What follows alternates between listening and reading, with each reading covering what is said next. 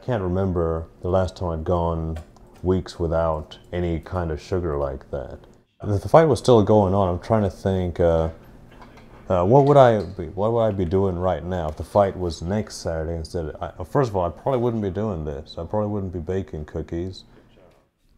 I'd actually got a fight back in uh, 2011. I was an MMA fighter at the time, but I was in college. I was a young guy, uh, shady individual had told me, a promoter or some such, he's told me, hey, you get $400 if you just fight this guy. I took that fight and lost it. Well, I'll go back to mixed martial arts. So, oh, actually, you've been paid to fight. So now, if you want to do mixed martial arts, you've got to do professional mixed martial arts. So now I'm stuck here in, uh, in my 20s. I've got a a loss, a professional boxing loss, that I can't really make up because I'm, I realized then I'm not a boxer. You're already there. That's one of those steps you already. You already done there. My wife had gone to professional development, and it was in this area. So we'd, we'd come up to Fayetteville for the weekend for professional development, and she was really inspired by the interest and the detail in education up here. She wanted to teach up here, so we both put in our applications. We were able to get work here, and we moved up here, and we have we've not been disappointed. I, I was the quiet kid. I would draw draw comic books. I'd read comic books and watch cartoons. I didn't. I was never part of the the cool crowd or the the popular crowd, but I, I was I was okay with that. I knew who I was, but I knew that uh, there was just always something missing. Yeah, I feel like the face-off is really the fight. I mean, because everything up prior to the fight, the training, the workout, all of that is done in preparation of the match. The face-off, you get to see who you've got, and you psychologically are gonna you're gonna psych each other out. I didn't take a step back. I didn't blink.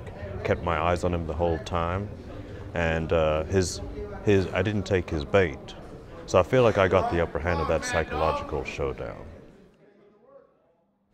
I got a lot of my people coming to watch, and for me, I've got to prove to myself that this was a very difficult cut. A lot of uh, no sugar, all the working, all the running.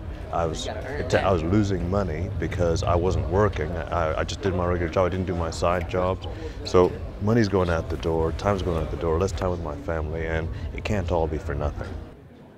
I know I can't do it forever. I want to see how far I can take it. No regrets. I don't want to regret not doing it enough. I don't want to regret staying in there too long and turning into a punching bag.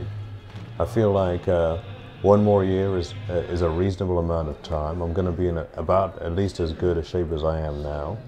And um, I can leave it on a, leave things on a good note. Mary.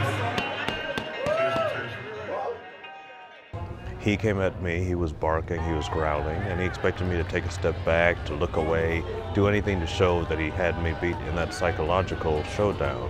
He didn't.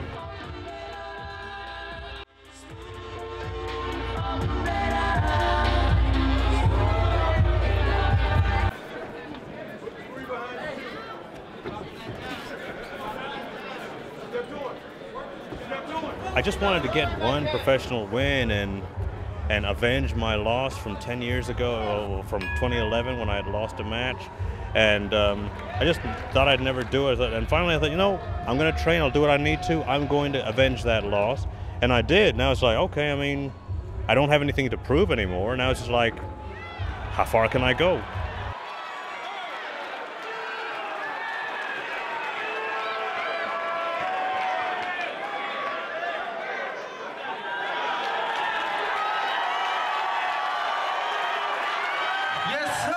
Yes, sir!